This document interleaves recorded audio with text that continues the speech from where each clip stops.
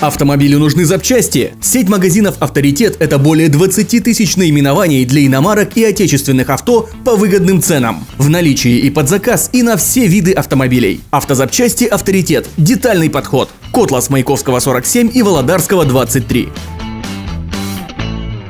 Во вторник, 5 июля, в Котласе будет ясно и солнечно, осадков не ожидается. Температура воздуха в дневные часы плюс 25 градусов, ночью до плюс 14.